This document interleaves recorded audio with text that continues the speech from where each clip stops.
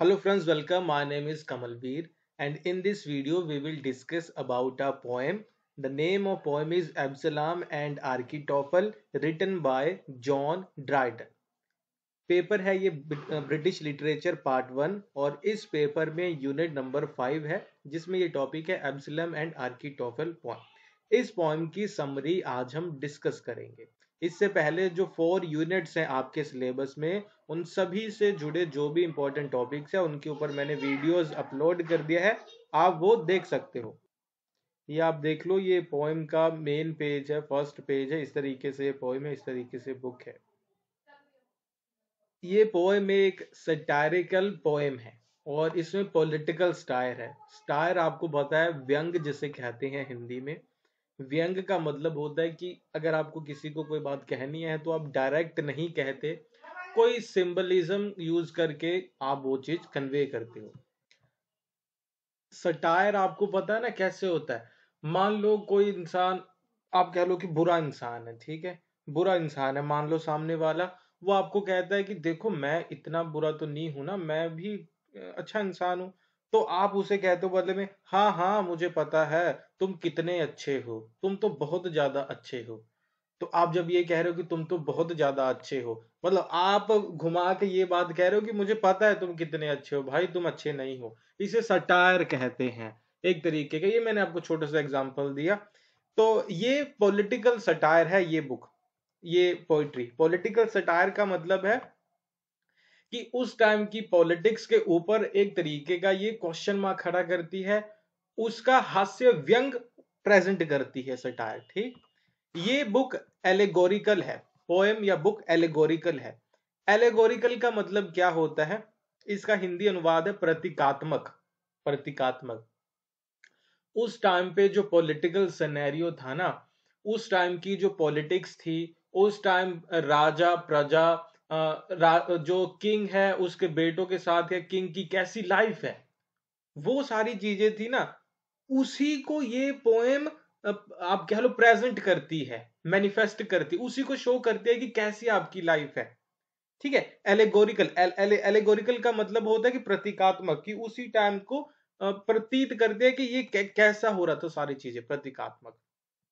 Return इन heroic couplets ये आप कह लो पोएम लिखने का एक मेथड है। इसके अलावा ये पब्लिश हुई 1681 में ये भी आपने याद रखना है। और लास्ट चीज़ ये है कि ये एक बिब्लिकल टेल है। बिब्लिकल टेल बिब्लिकल टेल का मतलब होता है कि ऐसी कहानी जो बाइबल से जुड़ी है। या जिस, जिस बाइबल में जैसी स्टोरी है एज इट इज़ स्टोरी आप बता रहे हो या बाइबल में जो कैरेक्टर्स है, उन्हीं कैरेक्टर्स को यूज़ करके आपको स्टोरी लिख रहे हो। तो उसे कहते हैं बिब्लिकल टेल तो ये बाइबल से जुड़ी है, इसलिए। तो ये चार चीज़ें आपने याद रखनी है ऊपर वाली की, ये सारी इस पोएम के बारे में है। और मैंने आपको बताया ना कि एलेगरी एलेगरी का मतलब होता है कि जो सामने हो रहा है, उस, मान लो आज के टाइम पे क्या है? प्राइम मिनिस्टर हमारे मोदी जी हैं, है ना? गृह मंत्री होम मिनिस्टर अमित शाह है ये सारे मिनिस्टर्स और किस तरीके की पॉलिटिक्स इकोनॉमिक्स इंडिया में चल रही है। आप सभी जानते हो अच्छी है कि बुरी, आप सबको पता है। हाँ हम अच्छी बुरी में जाएँगे भी नहीं। हम इन सारी चीज़ों को ना लेकर के एक स्टोरी लिखते हैं, है ना? और इन सभी का नाम नहीं लेते, लेकिन एक स्टोरी लिखते हैं कि एक बार एक प्राइम मिनिस्टर था, उसका नाम कुछ भी कह लो, कमलवीर कह लो, ठीक है? अपना नाम कह लो, आप कुछ भी कह लो। नाम चेंज कर देते हो स्टोरी जो हो रही है सेम एज इट इज़ हमारी पॉलिटिक्स में, वही चीज़ आप लिखते हो। तो इसे कहते हैं एलेग्री तो ये वाली जो पोएम एलेग्री थी ना king Charles two and exclusion crisis के ऊपर थी। इंग्लैंड में 1679 से 81 के बीच में एक्सक्लूजन क्राइसिस चलता है। किंग चार्ल्स उस टाइम पे राजा थे उसके दौर में। उस दौर में जो सारी चीज़ें हुई ना, उसी को कैरेक्टर बदल के इस पोएम में लिखा गया है। ठीक, समझ गए आप एलेगरी का मतलब कि किस कहानी को इन्होंने अपने करेक्टर देके लिखा। चलो, अभी मैं आगे कंटिन्यू करने से पहले आपको बताऊँगा, आपसे पूछूँगा कि आपको वीडियो कैसे लग रहा है। अभी तक कैसा लगा प्लीज़ कमेंट करके ज़रूर लिखना, अभी बहुत लंबा वीडियो होने वाला है ये। आपने अपना कमेंट ज़रूर लिखना है, ज़रूर मुझे बताना है कि आपको वीडियो कैसी लगी। लाइक प्लीज़ ज़रूर किया करो, क्योंकि आपके लाइक से ही मुझे मोटिवेशन मिलता है। ओके आपके कमेंट्स में सारे पढ़ता हूँ सबको हार्ट देता हूँ मुझे बहुत अच्छा लगता है तो वो आपने ज़रूर लिख के मुझे बताना है ठीक है? और ब्रिटिश लिटरेचर वन के ऊपर ही हमारा लास्ट वीडियो है अभी ब्रिटिश लिटरेचर टू की वीडियो आज या कल से ही मैं स्टार्ट कर दूँगा ओके? उसका पेपर थर्टी फ़र्स्ट को है आपका मेरे ख्याल से लिख के मुझे बताना कि उसका पेपर कब है। सो so, एलेगोरिकल में थोड़ा और देख लो ये जो पूरी पोएम है इस पोएम में जो राजा है प्रजा है किंग है आप कह लो उसके सब्जेक्ट है, वो सभी कहाँ के हैं? इसराइल के। डिटेल में भी डिस्कस करेंगे। पोएम में बताया जाता है कि इसराइल में किंग है, फिर उसका बेटा है, वो सारी चीज़ें। तो ये सारी चीज़ें इसराइल कहाँ कहा गया? कहाँ पे कहा गया? तो इसराइल कहा गया पोएम में। ये किसकी एलेगरी है? किसकी आप कह लो इमिटेशन है, नकल है? इंग्लैंड की। ये सारी चीज़ें कहाँ पे? रियलिटी में हो रही थी, इंग्लैंड में।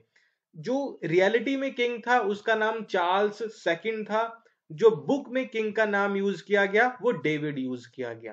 ठीक?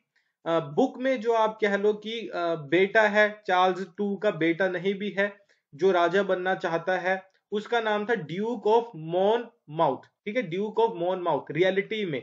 बुक में उसका नाम है एब्सलोम। ठीक? एक और करेक्टर है एकिटोफेल। एकिटोफेल ये बुक में करेक्टर है रियलिटी में इसका नाम था आर्ल ऑफ़ शेफ्ट्सबरी ओके? ये भी अगर आप लिखना चाहते हो लिख लेना इसके अच्छे मार्क्स मिल जाएँगे आपको अगर ये सारी चीज़ें आप वहाँ पे मेंशन कर दो। क्योंकि रियलिटी को ही इन्होंने करेक्टर बदल के बुक में लिखा ना तो वो मैंने आपको बता रहा हूँ रियलिटी में ये लोग कौन थे और बुक में इनका क्या नाम है। ओके okay, तो अभी मैं आपको पोएम डिस्कस करके एक्सप्लेन करके बताऊँगा डिटेल में। तो पोएम की जो स्टोरी है वो स्टार्ट होती है फ्रॉम इसराइल ठीक है? इसराइल देश आपको पता है ना इसराइल एक देश है है ना? जेरूसलेम उसका कैपिटल है, आप जानते हो।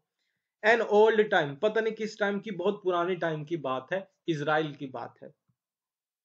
Religion had not banned multiple marriages उस टाइम तक ना रिलीजन यानी कि धर्म ने मल्टीपल मैरिजेस को बैन नहीं किया था। यानी कि इस टाइम पीरियड तक रिलीजन ने ये नहीं कहा था कि एक इंसान एक ही मैरिज करेगा। किसी भी रिलीजन ने। तो इसीलिए उस टाइम पे बहुत, हर एक इंसान बहुत सारी शादियाँ करता था। Man could have a mistress and a wife ठीक है, वो आप कह लो वाइफ भी रख सकता था मिस्ट्रेस भी रख सकता था, और जो भी उसे रखना है वो रख सकता था, जितनी मर्ज़ी शादी करे। उस टाइम पे इसराइल क्योंकि इसराइल की बात हो रही है तो इसराइल के किंग कौन थे?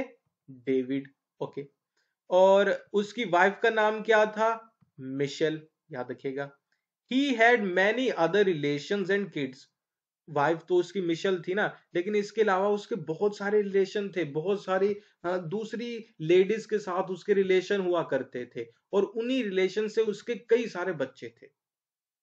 He did not have his own legal son लेकिन उसका अपना कोई लीगल सन नहीं था। लीगल सन का मतलब है कि जिससे आपने शादी की, उससे कोई बच्चा नहीं था।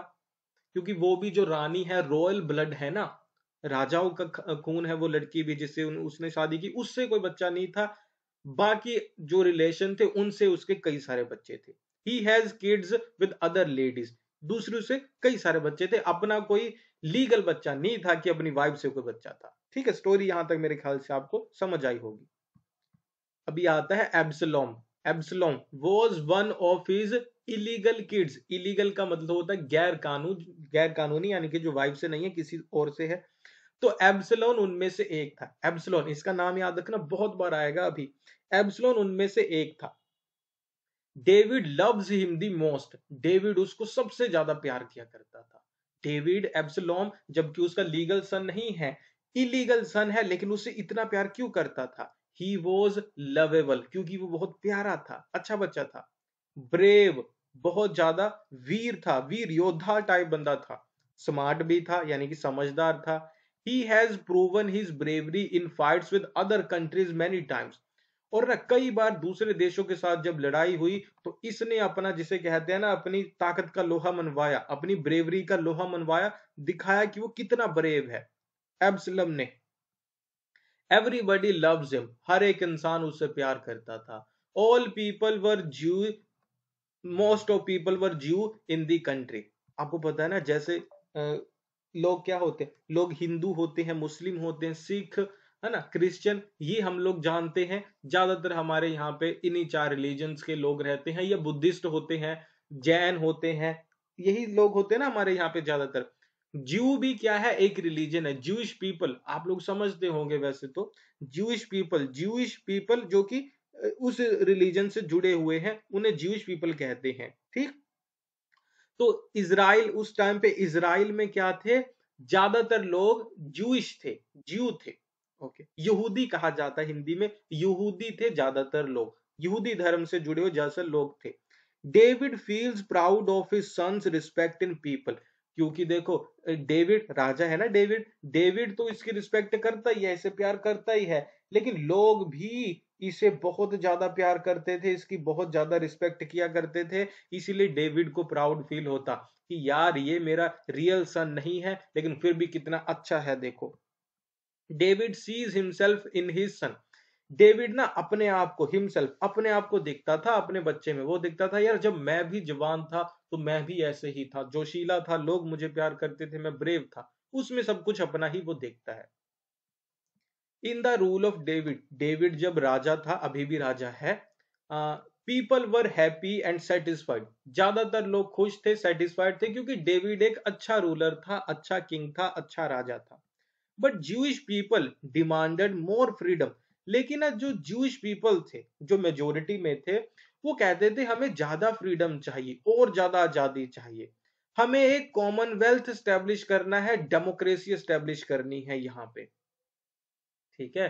ताकि राजा राजा का बेटा राजा ना हो, हम राजा चुन के भेजे। वो ये चीज़ें सोचा करते थे, जो जूश पीपल थे। They wanted to end the rule of monarchy और वो देश में राजाशाही खत्म करना चाहते थे, आम लोगों का राज या रूल लेकर आना चाहते थे, जैसे इंडिया में अभी है। Native people were called Jebusites okay अभी हम कौन से देश की बात कर रहे हैं? इसराइल की। किंग कौन है? डेविड है। किंग का इलीगल सन कौन है? एब्सलम है। वहाँ पे मेजोरिटी लोग कौन से हैं? जूइश हैं।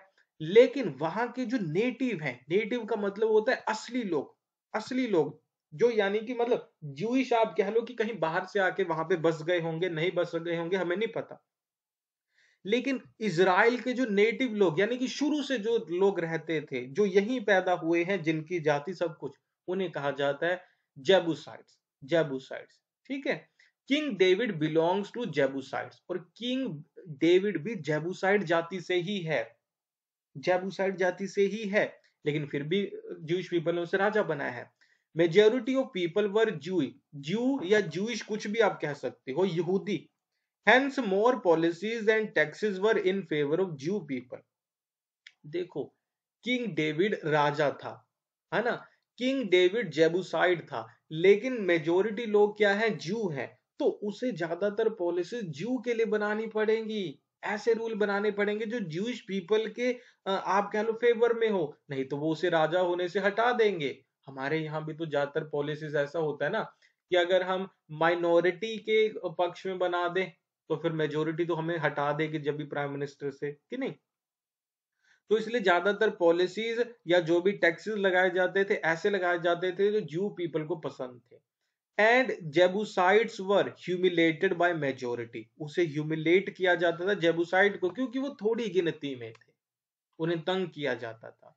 उनके गॉड को डिसरिस्पेक्ट किया जाता था, ठीक है? उनको इंसल्ट किया जाता था उनके गॉड्स को जेबुसाइड्स के। ये सब हो रहा था। तो जेबुसाइड लोगों ने प्लान किया। To regain their rights and position इन्होंने कहा कि हम क्या है? नेटिव पीपल हैं, हमेशा से यहाँ रहते आए हैं। तो हमें अपने अधिकार, अपनी पोजीशन वापस लानी है। हम राजा बनेंगे, हम राजा चुनेंगे। दे प्लान टू रिवोल्ट इन्होंने रिवोल्ट यानी कि रेवोल्यूशन क्रांति करने की प्लानिंग की।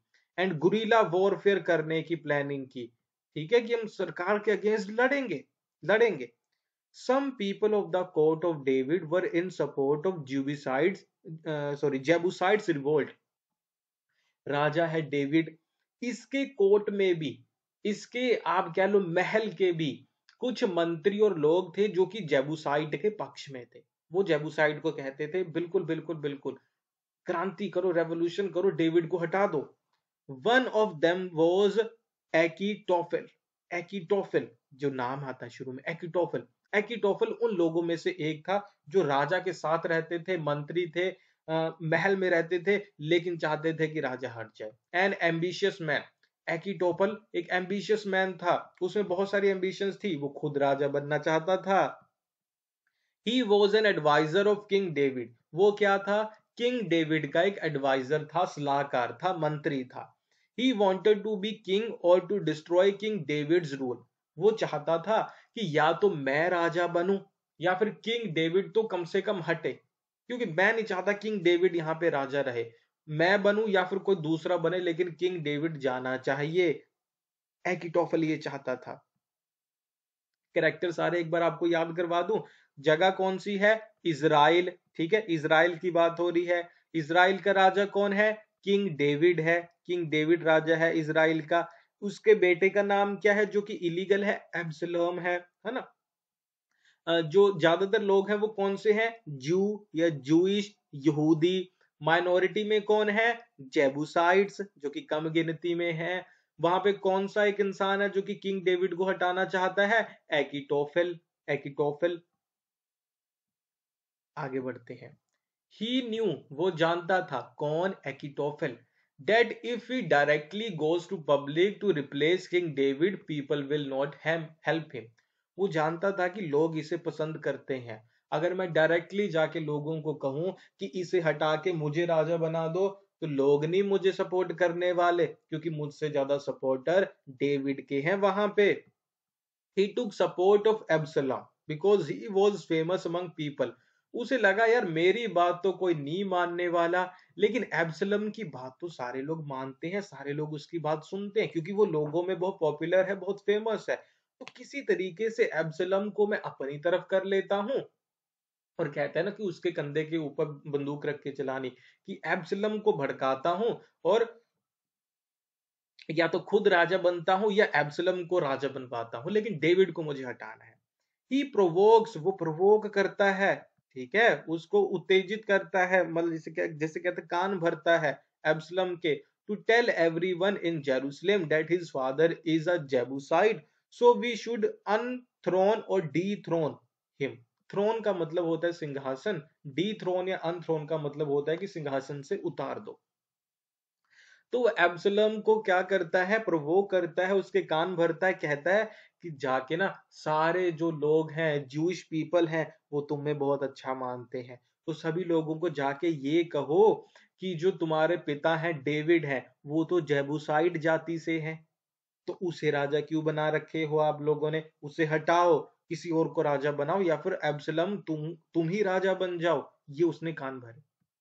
देखो, उस टाइम पे एक सिस्टम चला करता था, वहाँ पे तो जो जू पीपल थे जूश पीपल थे, जो मेजोरिटी में थे were used to announce a new king every twenty years वो क्या करते थे? जूश पीपल जो मेजोरिटी में थे, ज़्यादा गिनती में थे, हर 20 साल के बाद अपना एक नया राजा चुन देते थे कि 20 साल तक ही रहने देते थे किसी राजा को, उसके बाद हटा देते थे। It was good time to dethrone और अनथ्रोन ठीक है एकिटोपल कहते हैं। तुम्हारे पिता को राजा बने भी कई साल हो गए तो ये अच्छा टाइम है। उसे डी थ्रोन करो, सिंहासन से हटा दो। Achitophel knew that he can not become king Achitophel जानता था कि वो राजा नहीं बन सकता। क्यों?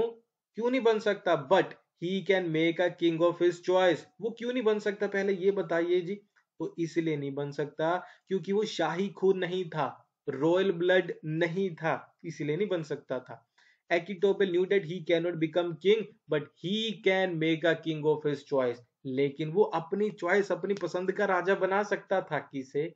एब्सलोम को। समझ रहे हो ना? डेविड को तो ये पसंद नहीं करता था। चाहे डेविड को ये बात नहीं पता थी कि ये मुझे पसंद नहीं करता। लेकिन ये डेविड को हटाना चाहता था, अपनी मर्ज़ी से एब्सलोम को बनाना चाहता था। एकी टोपल ने क्या किया? पब्लिकली अनाउंस करना शुरू कर दिया सपोर्ट करना शुरू कर दिया that Absalom has royal blood यहाँ पे रूल लिखा है ना रॉयल है R O Y A L यहाँ पे जो रूल लिखा है ना, यहाँ पे R O Y L royal royal blood and he will work for the Jew people we should appoint him as a new king Achitophel ने क्या किया? लोगों में गया। लोगों को जाके कहता है कि देखो, मैं सपोर्ट करता हूँ, मैं अनाउंस करता हूँ, मैं तुम तुम लोगों का विश्वास चाहता हूँ। क्या, किस बात के लिए? कि डेविड को हटा दो, एब्सलम को नया राजा बना दो। क्यों लोग कहते हैं कि क्यों एब्सलम को बना दे? तो ये लोगों कहता है कि तुम लोग उसको पसंद करते हो ना बहुत, और वो ज्यूश पीपल से बहुत प्यार करते हैं और तुम भी उसे प्यार करते हो। तो इसीलिए हम उससे राजा बना देते हैं। जब एकिटोपल ने भी सपोर्ट करना शुरू किया तो Absalom gets more popular Absalom और ज़्यादा पॉपुलर हो गया, लोग उसे और पसंद करना शुरू करते हैं। People were ready to make him king सभी लोग अभी रेडी थे, तैयार थे कि ठीक है एब्सलम को किंग बनाते हैं, बहुत अच्छा इंसान है। बट एब्सलम हिमसेल्फ क्या वो बनना चाहता था कि नहीं? But Absalom was not in favour of it वो चाहता था मुझे नहीं बनना।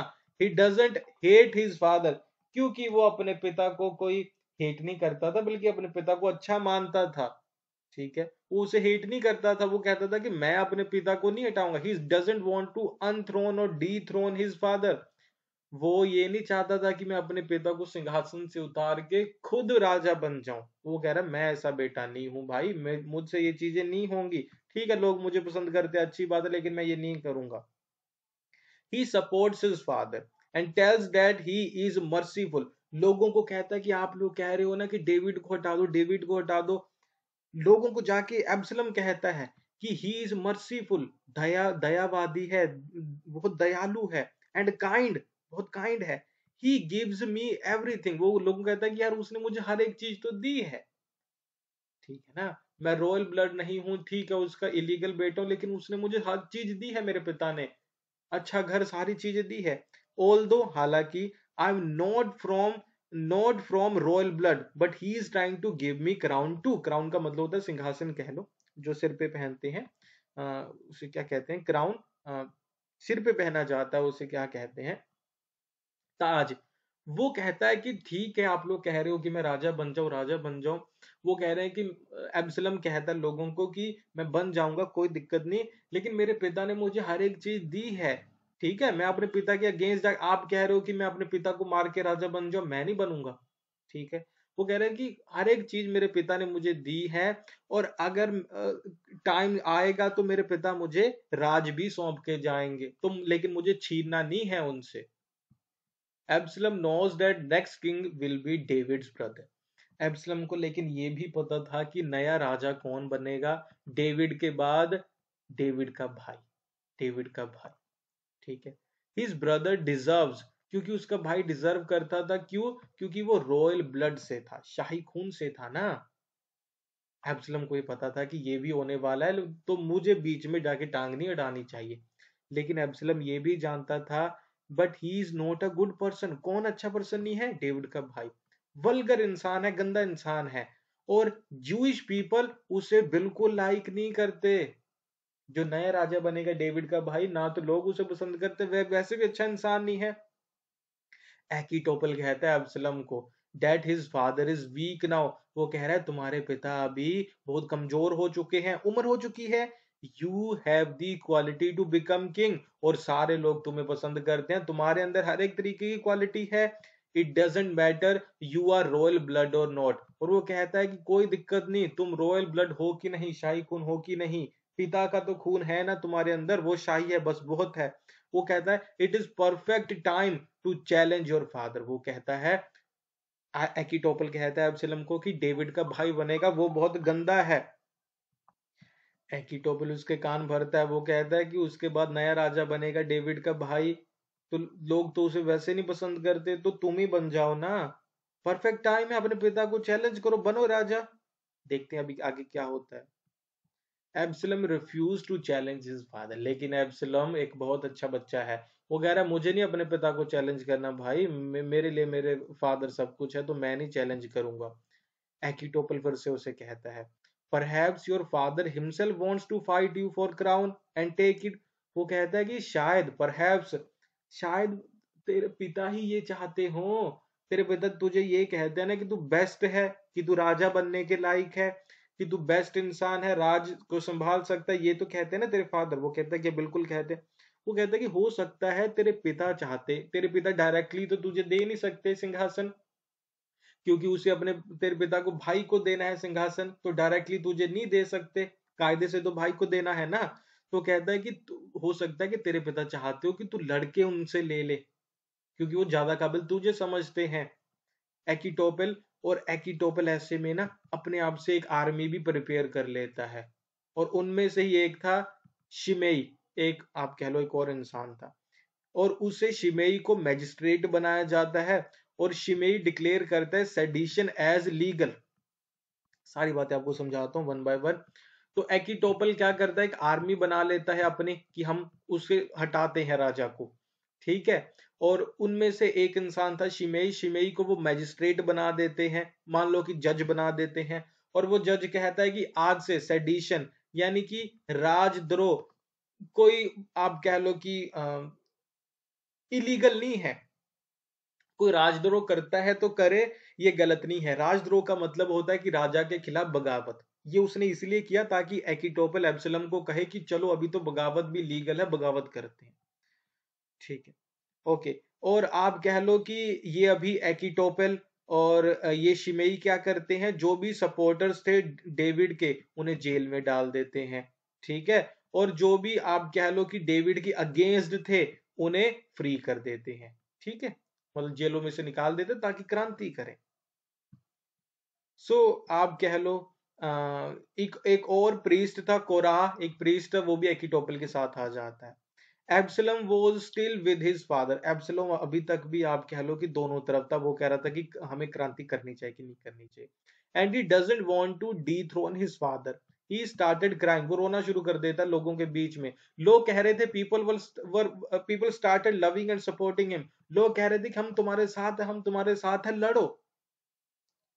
तो वो लोगों की बात में आके सारे लोग जाते हैं इकट्ठा होकर डेविड के पास एब्सलम भी एकिटोपल भी कोरा भी शिमेई सारे। ठीक है? डेविड को पता चलता है कि वो मुझसे लड़ने आ रहे हैं। David gets to know everything. He goes to people and threaten them वो लोगों के पास जाता है और लोगों को कहता है, धमकाता है कि आज भी तुम्हारा असली राजा मैं ही हूँ। मुझे कोई सिंहासन से हटा नहीं सकता, ना हटाने वाला पैदा हुआ है। मैं ही तुम्हारा राजा हूँ, मैं ही तुम्हारी अच्छे के लिए सोच सकता हूँ। David wins without fighting and tells people that he is best king of all उसे लड़ना भी नहीं पड़ता है, क्योंकि उसे लड़ने के लिए फिर कोई सामने आता ही नहीं है डेविड के। डेविड ऐसे ही जीत जाता है। ठीक है, एब्सलम या कोई भी उसे लड़ने आता ही नहीं है, डेविड ऐसे ही जीत जाता है। यहाँ पे खत्म हो जाती है ये पोएम तो अभी मुझे बताना, लिख के कैसी लगी आपको पोएम कोई भी चीज़ ना समझ आई हो तो कमेंट बॉक्स में लिख देना। अभी आप लोग पीडीएफ के बारे में कई पूछ रहे थे तो पीडीएफ और अभी ये सारी पाँच वीडियोस ये पाँच वीडियोस की मैंने प्लेलिस्ट बना दी। और पाँच पीडीएफ भी बना दिए। ये सारे अभी मैं इस वीडियो के बाद ग्रुप में टेलीग्राम व्हाट्सएप के ऊपर शेयर कर दूँगा। थैंक यू फॉर वॉचिंग बच्चों। अपने फ्रेंड्स के साथ ज़रूर शेयर करना ताकि ज़्यादा से ज़्यादा बच्चों तक हमारी ये वीडियो पहुँचे। अपना ध्यान रखिएगा। Thank you for watching bye bye और अच्छे से पेपर भी लिखना सारे बच्चे।